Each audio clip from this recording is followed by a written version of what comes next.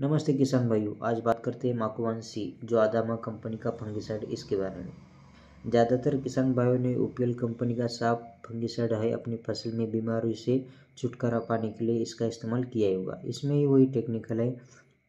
बात करते हैं अभी इसके डोज की टेक्निकल की, काम कैसे करता है, कौन सी बीमारियों पर अच्छी तरह से कंट्रोल कर लेता है, और फाइनली कीमत की भी बात करेंगे।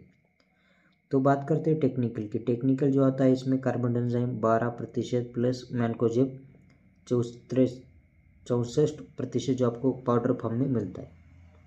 इसमें जो दो टेक्निकल होने की वजह से ये दो तरह से काम करता है। इसमें जो मैनकोजेब होता है कॉन्टैक्ट तरह से काम करता है कार्बन डाइजाइम जो होता है तो सिस्टमेटिक तरह से काम करता है।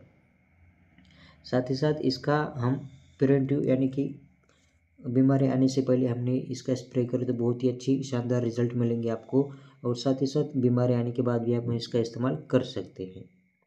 हम इसका इस्तेमाल सभी फ़सलों पर स्प्रेइंग के लिए छिड़काव कर सकते हैं या ड्रेचिंग भी कर सकते हैं। ज़्यादातर धान की फ़सल में ब्लास्ट अंगूर की फ़सल में powder mildew downy mildew leaf spot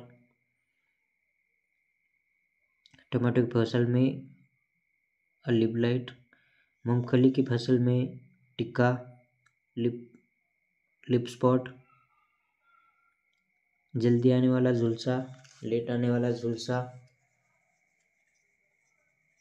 जो आम की फ़सल में आती है, पाउडर मिल्डो, एंथ्रेक्नोज,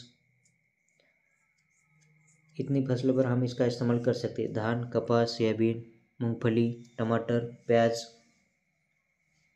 गोभी, फ्लावर, मिर्च आदि फ़सलों पर हम इसका इस्तेमाल कर सकते हैं। डोज की बात करें तो 200 या 250 ग्राम प्रति एकड़ का डोज है।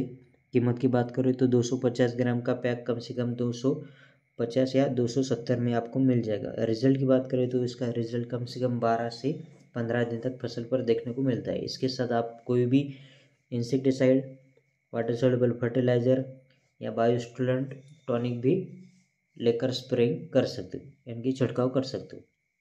धन्यवाद। आप जय किसान चैनल पर नए हो तो लाइक, शेयर, सब्सक्राइब ज़रूर कीजिए। Thank you.